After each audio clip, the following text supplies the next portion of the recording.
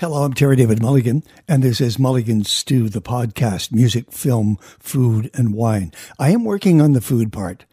I've had lots of wine, we have lots of music, lots of film, but now we need some food. I'm, I'm going to hunt down some favorite chefs of mine. In the meantime, back to the music base, and that is a very special friend. His name is Colin James. It was Stevie Ray Vaughan who was passing through the prairies in Alberta specifically Regina, and his opening act had not shown up. This was before Stevie was like a big deal, like a really big deal. And Colin James was the local guitar slinger in Regina. And he said, I'll do it, Mr. Bond. And he did. And Stevie liked him so much, he took him on the road, had him open for him all the way across Canada, and encouraged him. And that's all that uh, Colin James needed he just kept playing and singing, getting better and better and better and better, and finding fans all over the world. And this most amazing thing happened after he had done his live album at the Commodore, which basically said, here's all the songs that I've recorded up till this point live in concert. Now we're going to head off in a different direction. And he released two blues albums, Blue Highways and Miles to Go. And amazingly to Colin, they were a huge success. He got played down in the States in places where he had never been played before. He literally just swept the Blues Awards in Canada and then won the Juno for Best Blues Album of the Year. He's now on a cross Canada tour, and it was time to sit down and talk to him. We're backstage at the Port Theatre in Nanaimo. Colin James.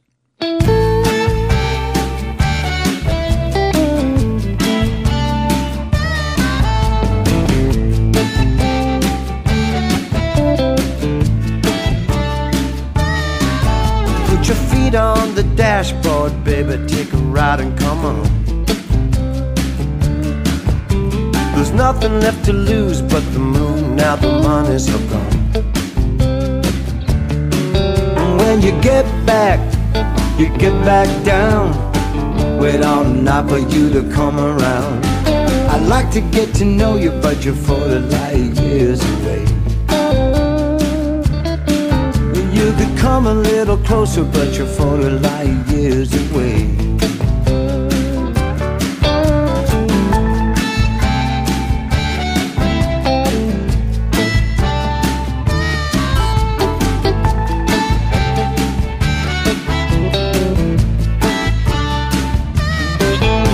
What you gonna do, honey, now that the sun's gone down? Trying to find love when you're living in one horse town. I've had the blues for 14 days, cause there's a hole in the sky and it's here to stay. I'd like to get to know you, but you're 40 light years away. Wanna get to know you, but you're 40 light years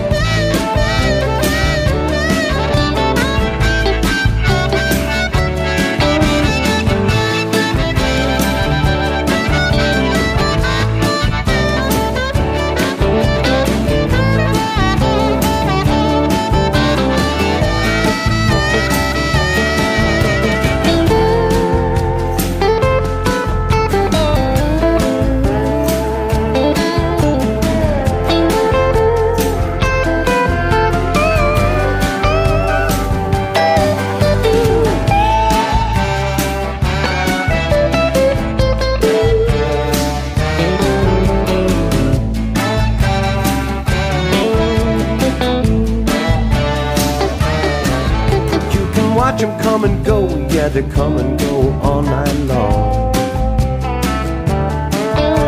Buffalo girls, blind Willie, burn the dance floor down. Down.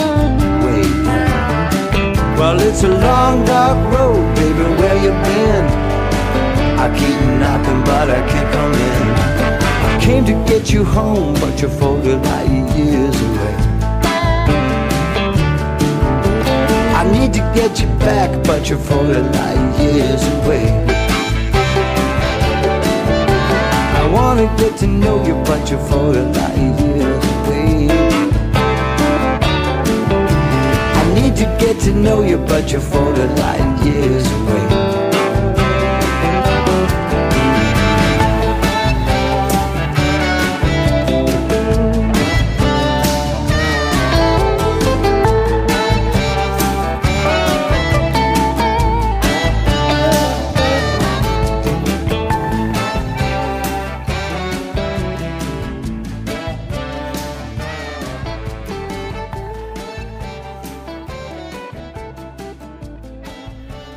Let's go st- straight to something I'm dying to know about.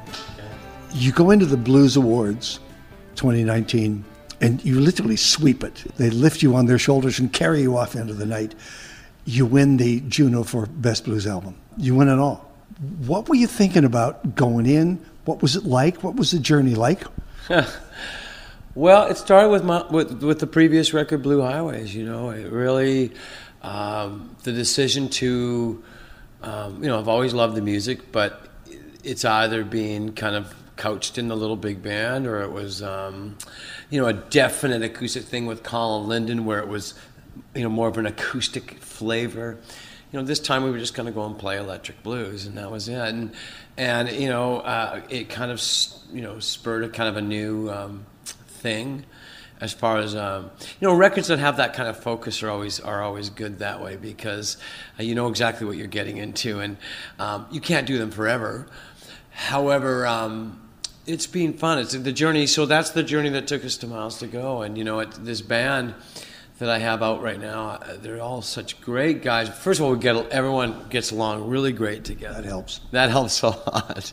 And uh, yeah, we just have a, a, a riot, you know, and, and you know, so there you go, you know, and and the whole hope is to try to get some inroads in, in, in America and in, in, in Europe, and you know, slowly we're getting some more um, looks and, and attention that way. I'm going to the Memphis Blues Awards this year, really just to go meet people and shake hands, and uh, I think if I'm lucky, I might be presenting something, which would be fantastic. Um, and uh, meeting more people and networking down there. But I'm kind of having a late career um, uh, career elsewhere too with the blues thing. So uh, it's been fun. You've told me before that uh, you get nominated for things and, and you're not really excited about it till you get there. And then when you get there, you realize that your peers are in the audience, that you're being held up as an example of where other younger players want to get to. Uh, you, you win those awards at the at the, the Blues Awards, and then you win your Juno.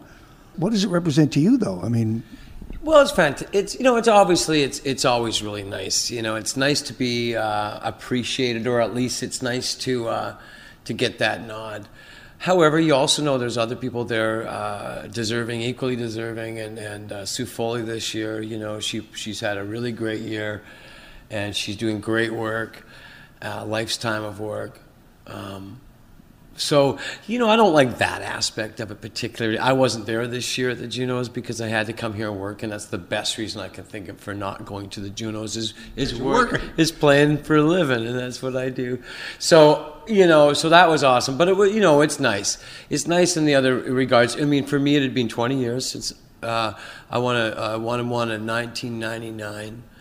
So I went through all of uh, you know 2000 until 2018. That's 18 year uh, uh, thing. So and uh, it was 30 years from the time I, I from the other nights uh, thing to 30 years from most promising artist from '89. Isn't that funny, right?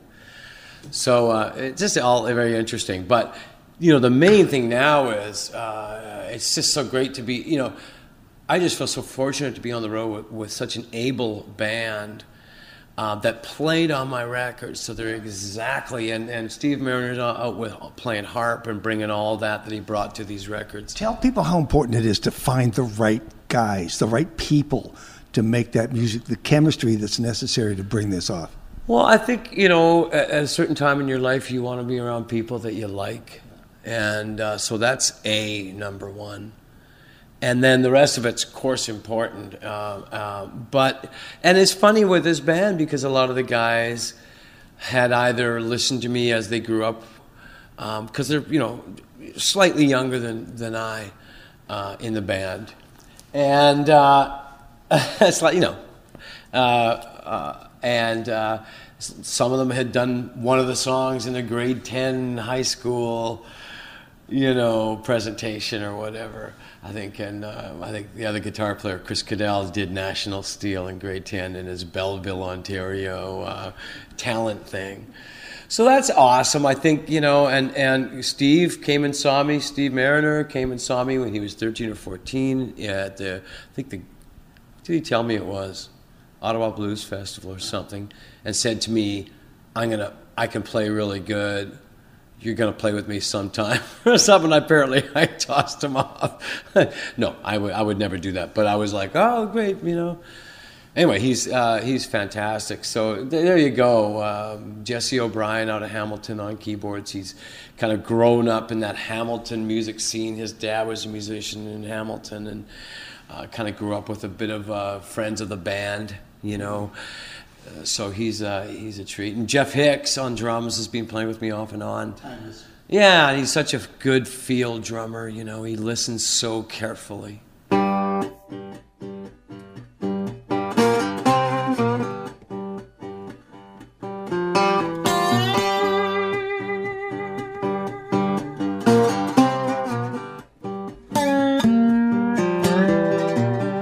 Mind your step as you make your way church into this world of sand. Picture an angel with a cigarette burning, with a long, slow drag. She welcomes you in where you'll be, dancing in the low lane, sweat dripping down like a dew. Scratching metal and a crying moan, and lightning in a bottleneck at the back of the room. Fire! From the inside rhythm like a hurricane rain mercy comes after midnight while you're washing me down with the sound of your national steel.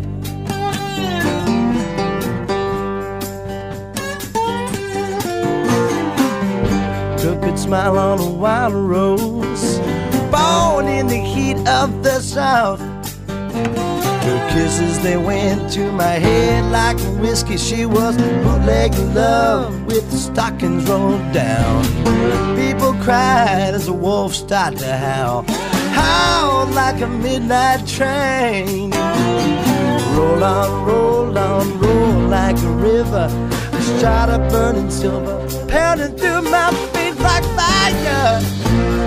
Fire from the inside rhythm like a hurricane rain mercy comes after midnight washing me down with your national steel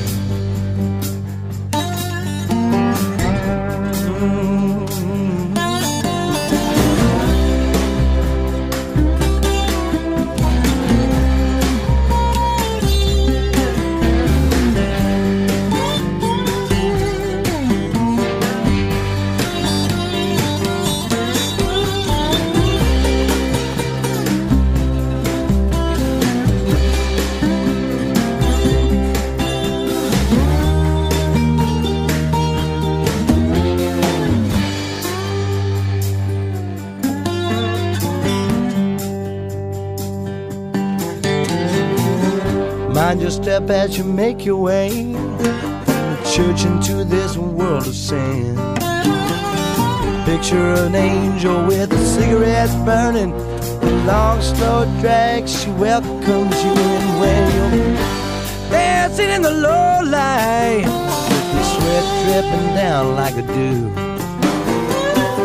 Scratching metal with a crying moan, lying in a bottle in the back of the room fire, yeah. Fire from the inside rhythm, like a hurricane rain. Mercy comes after midnight, wash me down, washing me down. Fire on the inside rhythm like a hurricane rain. Mercy Wash me down with the sound of your national steel.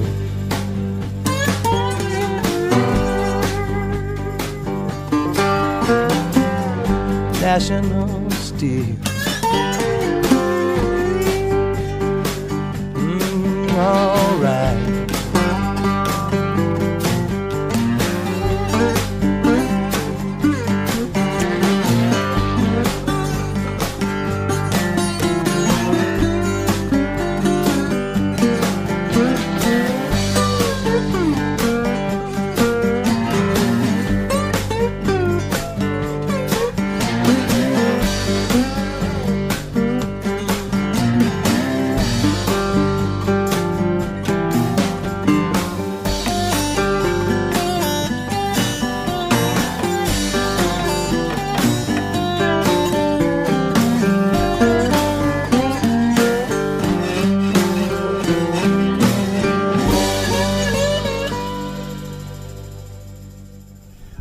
ask a lot of yourself. I know you do. You, you have st- very, very high standards for yourself and what is you and what is not you. What, what you can play, what you want us to hear, and what you don't want us to hear. The band has to buy into that as well. I mean, they, uh, you, you ask a lot of the people around you to make the quality of music. You have standards. Sure, well, sure, yeah, for sure. Uh, but that's the thing. uh, Everyone in this band is is is is great that way, so it's just not an issue. Uh, so, uh, all of this hardware aside, I mean, it's it's a great run. It was incredible to go from those two award shows, then all of a sudden you're on the road, and all of a sudden it's all just unfolding, and uh, and your year is starting to s- set itself. You have this album you can play. All of your your school of work. I'm looking at your set list here. Um, what's the oldest one? Uh, five long, or why'd you lie? I guess well, Why'd You Lie and Five Long are both super old.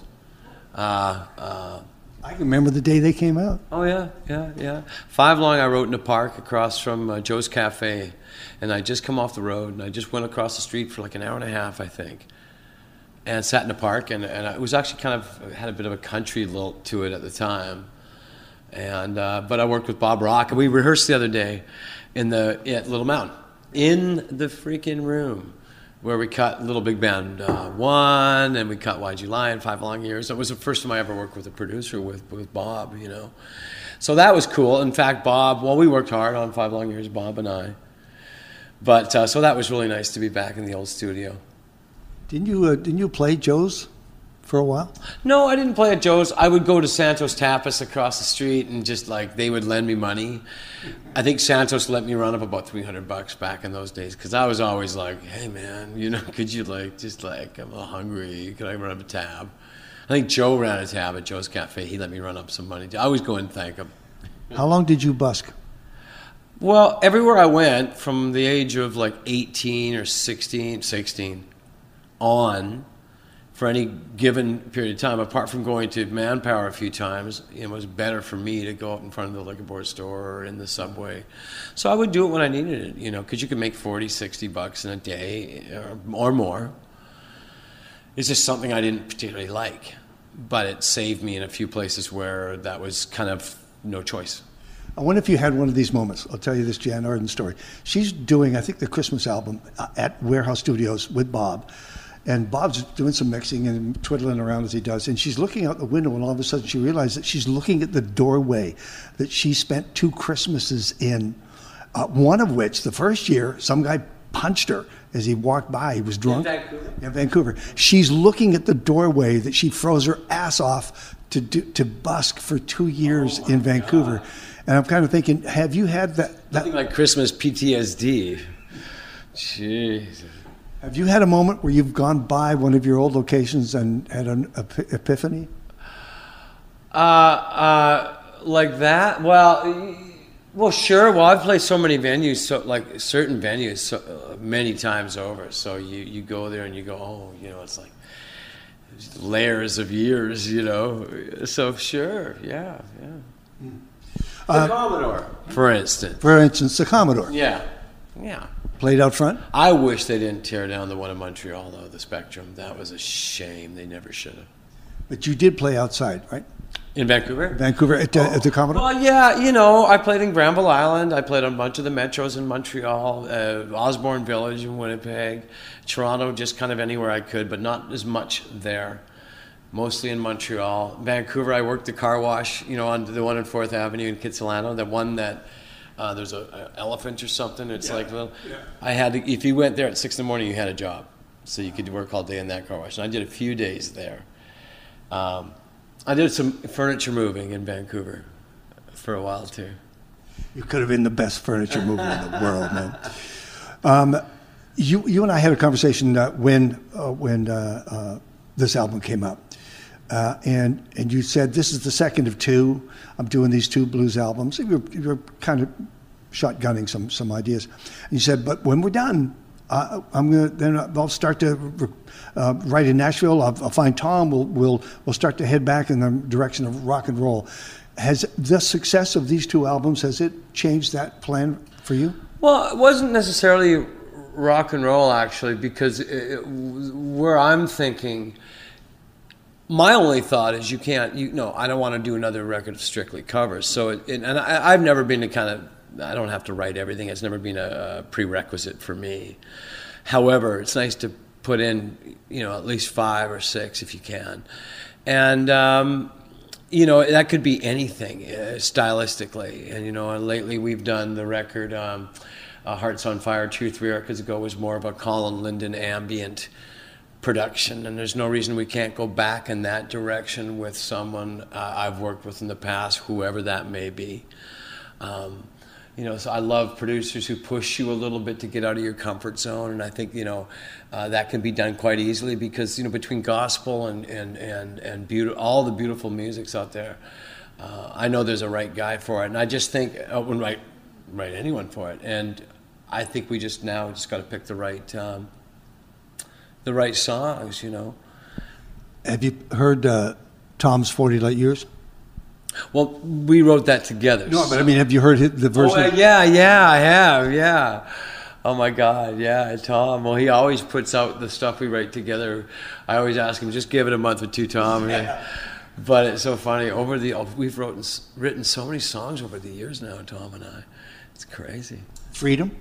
Freedom and. Um, Oh my God! And A lot of them uh, were cut by Blackie and the Rodeo Kings, yeah. and and uh, Lucinda sang on one. That was my favorite. Lucinda Williams sang uh, uh "If I Can't Have You," and, and, we wrote that in Toronto. But uh, years of doing that, I love writing with it with Tom.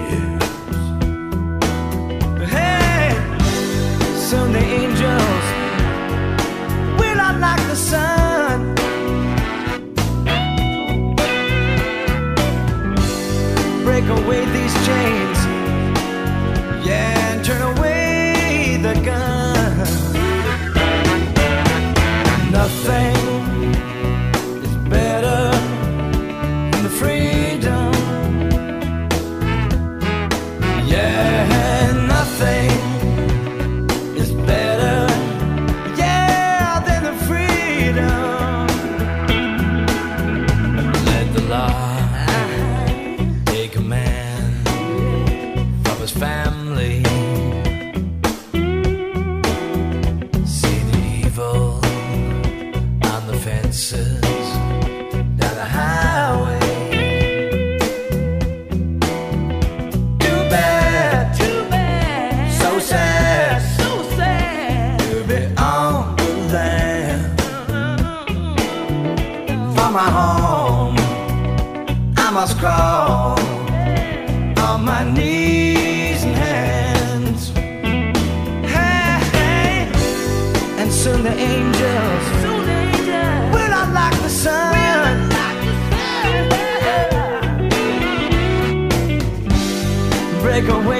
Away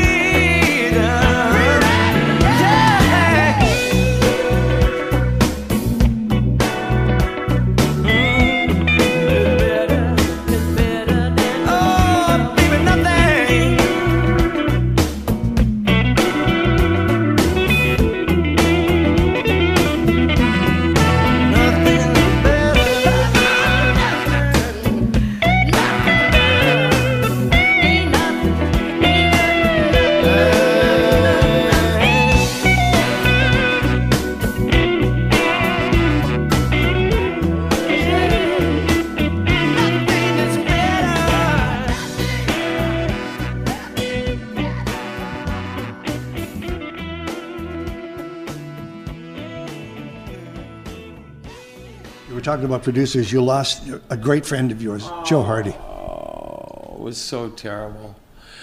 You know, I love Joe and uh, just love him dearly. And his wife Trish is awesome, and I hadn't seen Trish for a while. And it all happened really fast. Uh, last we had we shared a couple. He plays bass on the new Billy Gibbons record, so we were talking about that because we were both on the same blues chart within two not things of each other. I said, "Hey Joe, I, we're," uh," and he just got sick really, really fast. That was that, you know. So uh, terrible. And and I, I think about how he did Little Big Band too, and that's personally, I'm so proud. I'm so proud of Joe for that. Not like Joe has to be have people proud of him, but he's always known more as a rock guy. And he, although he did a lot of that early ZZ Top, so he's good at all of that. Depends who he's working with. However, he has a predilection to pretty. Um, he's a very good technician. So the sky's the limit. What? What did he bring to your music? Well, he brought just came back's mix. If you listen to that, like just he loved delay, did not love reverb. And uh, so if you ever stopped a Joe mix, everything stops at different times because it's all on delays. Um, and he liked a vocal to sit right in the middle, like dry and in your face. So if you listen to Tom Cochrane's "Life Is a Highway" or "My" or "My Just Came Back" or "Copperhead Road" uh, by Steve Earle, he just had a way to make a vocal pop. And when I decided to use him to work with him on Little Big Band Two. I, I just we get along so well as people that I thought, well, I'll use Joe, knowing that inside I thought, but this is period music from like the late '40s, maybe not the best marrying, but he proved. I love the sound of it, like Mary Ann on that record, the Ray Charles track. I think he just killed the mix on that. So I think he rose to the occasion, and he didn't date it with reverb yet. He didn't. Uh, he used his skills the way he would with music uh, appropriate to the to the era. How's it going? How are you feeling? Oh, having so much fun, man! I got this new 335 I bought last year, and I didn't have a chance to play it a lot last summer. I only played. Explain what it because you're like Colin Cripps. You're you're a geek about guitars. Just tell me what a 335 well, is. As, when I was 16, I opened up a John Lee Hooker and George Thorogood that year, and I always played a 335 for about two or three years of my life. That's all I would play. Gibson. Yeah, Gibson. Yeah, it's a hollow body, BB King guitar, uh, uh, and Freddie King. Um, and it's just you know beautiful. They just have a resonance and a, and a, tone and a roundness to them that nothing else has.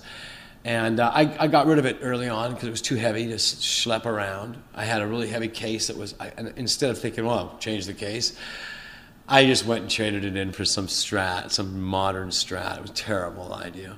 So it took me this long in my life to get a new Gibson. So I bought that one last year, and. and uh, uh, what a pleasure. So we've done two shows, uh, playing with such a great band. And, and, the fun thing is, as you go, you start going, hey, why don't we try this and why don't we try that?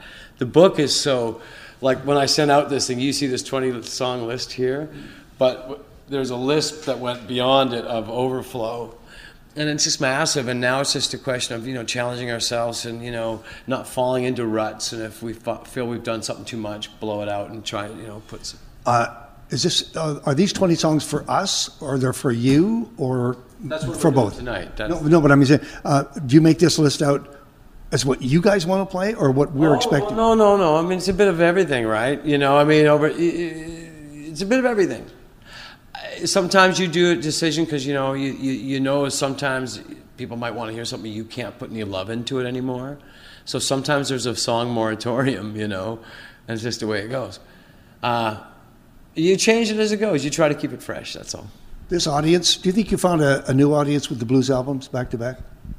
Yeah, probably. You know, I think. Uh, uh, I think you know, not unlike the little big band records.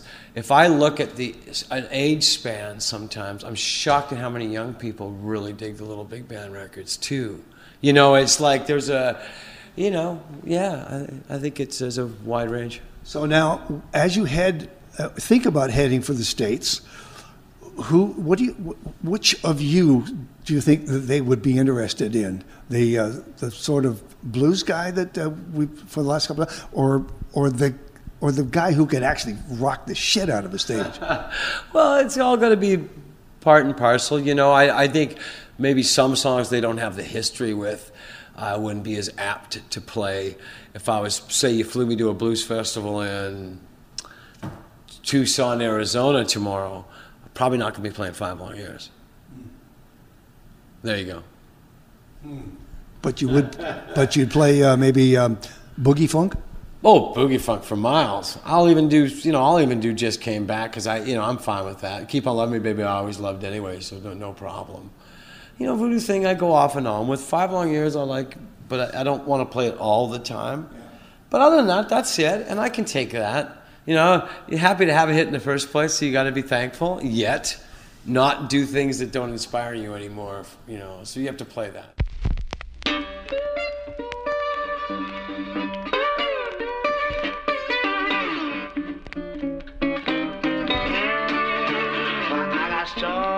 in my pathway, and my road seems dark at night.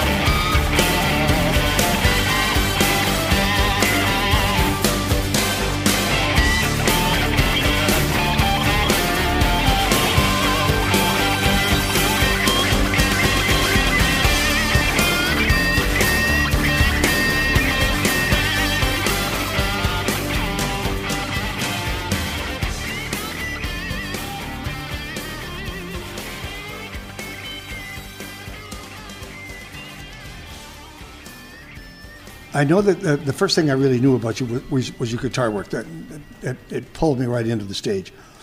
How long did it take you to find your voice, that where you were really comfortable with your vocals and you could express yourself? Little Big Band, one. And even though it was a little shallow and, and maybe a little up in my throat, I think it was the start of me singing better. Because I think, you know, those first two records, I just wasn't quite there yet. And I listened to stuff like Why'd You Lie Five Long Years, and I sound kind of like Chipmunky a little bit, and, you know. My, my son always laughs at me a little bit when he hears, uh, in a good way, laughs at that. Stone, you laugh at your father. I made a note here. You actually said this to me. After I've got these albums done, I can move on now. So you're gonna you're gonna move. I mean, that was you a couple of years ago. Well, you always have a theory. I, my theory is just I got to get some songs written and, and done and, and see what that looks like. When really you go to make great song, when you get together with someone else, you really try to keep the palette open because you don't want to miss out. You don't want to say I'm going to write a blues rock song that'll be acceptable by these people because it's so narrowing. So you try to keep the field open. You could write a, a you know an Appalachian. You just never know. Yeah. So you try to keep open yet realistic, and I guess that's the hardest thing about it is to keep there long enough to have those those ideas. It's never easy. Is, is it fair to say, a, a, assumption on my part, that the people who liked you early on with that little guitar flash, and then the, the, the big the little big band, and then now the blues albums. They'll all be in that audience tonight, in in some form or another. They're all there, right? Yeah, because it's you they're after. Yes, and hopefully they'll bring their children. And they can bring their children, and yes, because we need everything we can get us musicians Are now, you- because it's like you know what's going on with Spotify. Are you seeing kids in the audience? You seeing families? Uh, you, you know uh, you, don't always see it, but it is really awesome when you have a, uh, uh, some some younger people who kind of grew up with your music and just for, for whatever reason never had a chance to see you, and I love that, and they all come out together, and that's that's always awesome. Okay, now you're going to be in Alberta 27, 28. Uh, tell me about you in Alberta. Have you have we been good to you? My God, I've been playing well with Billy Cowsill, all those Stampedes. 84 when we opened up with k.d. lang at the Palliser. Every time I walk in the Palliser, I remember that 84 gig, you know, playing with Billy. And uh, those days, we did a lot of Calgary playing. We did a lot of Sidetrack Cafe in Edmonton. I played there with David Bergen before that. I played the Edmonton Folk Festival in 84 with uh, Dr. John. I got the job to play guitar for Dr. John, which was insane because I was totally underqualified. But I stood there and somehow managed to make it make it uh, make it happen. but that was amazing. I had to go to his hotel room in Edmonton before the show. Wa- Was that the rehearsal? Yeah, it actually was. Because I thought he was doing this. He did. He had done this new jazz record with Maria Muldaur, and I thought we were doing that kind of this kind of like, you know, pretty basic jazz changes. And it turns out we were doing all these hits like We're going to do gumbo. right place, right, right, all that. But I had not really had a chance to learn it, so we I had to wing it. But it was what a what a thrill. Uh, I'm looking at your year, by the way. Uh, Lethbridge Jazz Festival this summer. Mm-hmm. Um, that's uh, June 17. Uh, another one, July the 30th, Wine Country Blues Festival in Woodinville. That's that's uh, that's a big stage. Actually, you've got you're sharing with I think Buddy Guys on that stage. Yeah, well, yeah, we're, uh, the, uh, we're playing with Buddy in uh, in Montreal at the Jazz Fest there. Yeah, yeah, that's gonna be really fun. I'm looking forward to that. Yeah, we play. It's funny, you know, after after years of not seeing Buddy a whole lot because I knew him years. There's pictures of him and I playing from from, all, from a long time ago. I didn't see him for quite a long time, and over the last five years, I've just seen him a lot. I see him on the blues cruises because we've been on a few of those now. And then we played a show with them last in Washington State last uh, year and uh, in Ontario. Uh, so yeah, here we are again. I'll get back to that in a second. August 26th, the fair at the PNE. You're going to be at the PNE. Am I? Uh, August 26th, the fair at the PNE, Vancouver, BC. Huh. I didn't know that. well, that's exciting. about that? Exciting news. Let me. Uh, who do you think? Um, ju- just an aside here. Who do you think you, when you hear yourself play, even in recording live stuff, who do you think? Who do you remind you of in the way you play your guitar? Oh, I, you know, you try to channel what you can, and if you're in, if you're going through a phase where you're just loving something, you might channel that more than others, like an Albert King thing, or a, you know. Uh, but I don't know, man. I, I I, I, you know, it depends on what your bent is right now, you know. And I, I think it really takes other people to notice the things that you do that might be a signature of yourself because you don't usually see it, you know. Have you got a Have you got a, a project that you've wanted to do all these years and you've just kept putting it off because other things were keeping you busy? Uh, where you would head off in a in a, a direction that would surprise us? I'm really happy with it. You know, no, I'll just let it progress. There's not no far-reaching thing like that. You know, I don't mind stepping into something new or, or, or interesting, and that could take on like T Bone. Say I was working with, say T Bone Burnett said he could do a record with me. I'd be open for anything in that regard. Five, you could go five different choices, whether it was a, whether it was uh, gospel to bluegrass to, you know what I mean? Oh, brother. Yeah, yeah. So um, really, it's just I, I love it all. Um, I'm going to let you go here, but here's the deal. Here's the deal. Uh, no, normally I don't ask for a set list, but but I wanted to see what this looked like on paper. These 20 songs and then the the uh, the uh, closer. Uh, it's your life on a piece of paper. Yeah. Yeah, it's funny, man. It's like I remember in, in the early days, we, it was really hard to fill up the time you know, you were putting like, let's do that one for 10 minutes. That'll, that'll work, you know, that kind of thing. And uh, it's just really interesting that uh, over the years how it, uh, it just collects. Have you started those new songs yet? Um, well, you always you're always writing lists. You're always thinking about how that what form that takes, and then uh, and then you hunker down. So you know we're still kind of just supporting this record, and I always have a way of cracking the whip on myself eventually. Do you pack a notebook? Uh, no, I do most things digitally now. I don't really uh, write physically. I do use iPads and recorders on iPhones. And... You made a comment last time we talked about uh, how uh, there's this little nugget uh, that every once in a while you'll you'll go. Maybe it's just a chord. Maybe it's just a chord, a repetitive chord, but you you remember. I'm gonna. That's a good one. I'm gonna put that off to the side. Titles, covers. Like I, if I find a good cover, I write it down immediately with four stars beside it. You know, because uh, then you're ready the next time. I have a, I have a little big band four list going, and I, I always have lists. All right, here's your here's your hard questions. These are hard, like choosing children. The three best blues guys you ever heard. Lee Hooker, just because he sounds just like years and years and years of just ancient, beautiful music. It's just in him, you know, so deeply. Didn't matter what he played; it was just beautiful, you know. Um, uh, love John Lee. Uh, uh, I personally love John Hammond Jr. just because I personally have gleaned so much from him and I think he's underrated in every single regard. I, as a guitar player, he's just and his harmonica playing is so fantastic. His best album, Wicked Grin, maybe. I love Wicked Grin, but I love Mileage. Personally, I love Mileage. I think that's my favorite.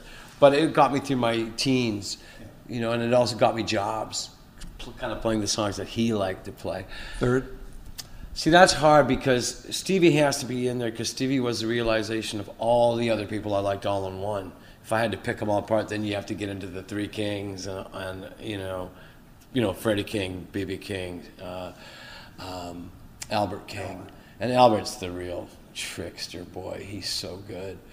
All of that, and then you have the singers. So I, you know, Otis Rush meant a lot to me because I've had success with one of his songs. His voice had all that pain in it so I, am doing a song tonight that we're just doing for fun, because it's Otis Rush and it just sounds so. I just love his stuff. Cool. Muddy Waters. I, I can't. It can't stop. Muddy. We can't live without money. A word to your fans. Uh, you can't talk to them all at once. You talk to them one room at a time. But uh, anything you want to, any messages you want to send out there? Now's your chance. Oh man. Well, I just thank you at any given time. You know, like I still get to go out and play and do what I've always loved to do uh, for a living. Um, and uh, it's taken, you know, it's just I'm so appreciative. I, I, to get these guys on the road like this, it's a, it's a, it's an undertaking, but it's a beautiful undertaking. And and for us, it's just you get every night you just get a little stronger, and it's the best. Congratulations on the awards. Thank you. Colin James in conversation on Mulligan Stew podcast. I do know that there's a Matt Anderson interview coming our way, but I promise I'll go find some star chefs for you, for you foodies out there. Thank you to Colin. Thank you to his team. Thank you to the Feldman Agency for putting us all together. And thank you for subscribing to Mulligan Stew, the podcast, on Spotify, Google Play Music, and Apple Podcasts.